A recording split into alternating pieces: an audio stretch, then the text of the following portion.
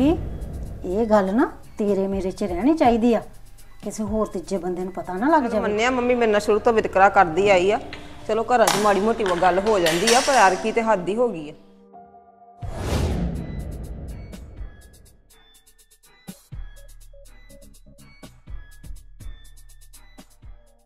Mummy mummy.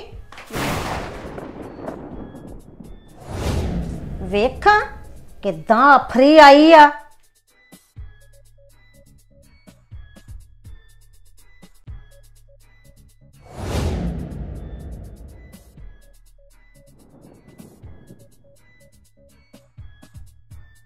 ਹੁਣ ਕੀ ਕਰਤਾ ਮੈਂ ਵੀ ਆਹ ਕੁਛ ਕੀਤਾ ਜੇ ਇਹਨਾਂ ਨੇ ਮੇਰੇ ਨਾਲ ਚੱਲ ਨੀ ਉੱਠ ਤੂੰ ਵੀ ਆਪਣੀ ਮਾਂ ਨਾਲ ਚੱਲ ਦਾਦੀ ਆਪਾਂ ਕਿੱਥੇ ਚੱਲੇ ਆ ਚੱਲ ਤੈਨੂੰ ਦੱਸਦੀ ਕਿੱਥੇ ਚੱਲੀ ਆ ਤੂੰ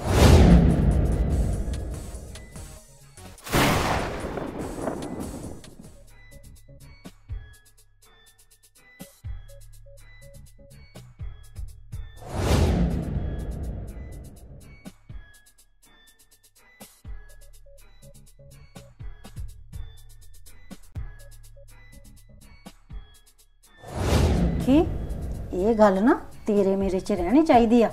ਕਿਸੇ ਹੋਰ ਤੀਜੇ ਬੰਦੇ ਨੂੰ ਪਤਾ ਨਾ ਲੱਗ ਜਾਵੇ। ਮੰਨਿਆ ਮੰਮੀ ਮੇਰੇ ਨਾਲ ਸ਼ੁਰੂ ਤੋਂ ਵਿਤਕਰਾ ਕਰਦੀ ਆਈ ਆ। ਚਲੋ ਘਰਾਂ 'ਚ ਮਾੜੀ ਮੋਟੀ ਗੱਲ ਹੋ ਜਾਂਦੀ ਆ ਪਰ ਯਾਰ ਕੀ ਤੇ ਹੱਦ ਹੀ ਹੋ ਗਈ ਆ।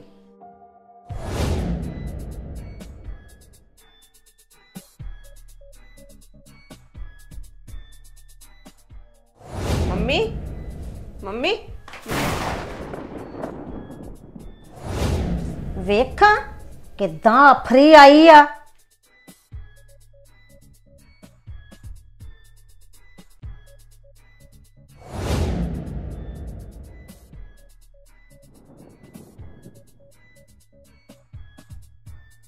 ਹੁਣ ਕੀ ਕਰਤਾ ਮੈਂ?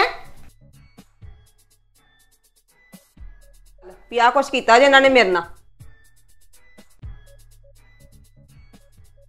ਚੱਲ ਨੀ ਉੱਠ ਤੂੰ ਵੀ ਆਪਣੀ ਮਾਂ ਨਾਲ ਚੱਲ।